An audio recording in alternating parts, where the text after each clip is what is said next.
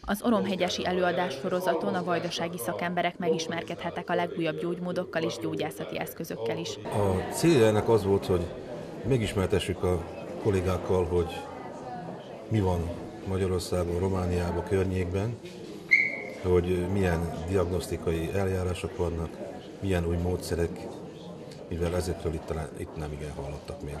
Dr. Gellér László, a Semmelweis Egyetem szakorvosa előadásában felhívta a figyelmet arra, hogy míg évtizedekkel ezelőtt csak gyógyszerrel ideiglenesen tudták gyógyítani a szívritmuszavart, ma már véglegesen megszüntethető a betegség. Forradalmi változást okozott ebben a tekintetben ugye a katéteres terápiák megjelenése, amelyek során ugye egy vizsgálat során meg tudjuk állapítani pontosan a ritmuszavarnak a, a, a mechanizmusát, mi okozza, melyik szívterület érintett ebben, illetve ugyanezen vizsgálat során meg tudjuk szüntetni is a ritmuszavart.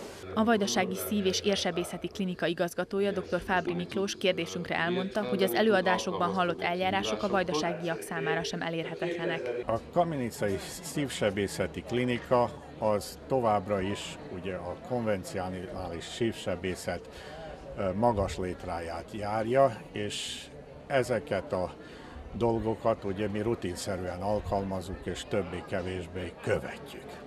A szerbiai kardiológiai helyzetről szóló előadás elmaradt ugyan, a vajdasági résztvevők azonban reményüket fejezték ki, hogy a néha futurisztikusnak tűnő eljárások Magyarországon és Szerbiában is hamarosan elérhetők lesznek.